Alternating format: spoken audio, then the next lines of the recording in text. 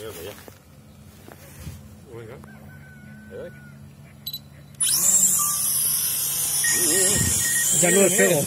Ya no despego. ¿Qué te ha ido?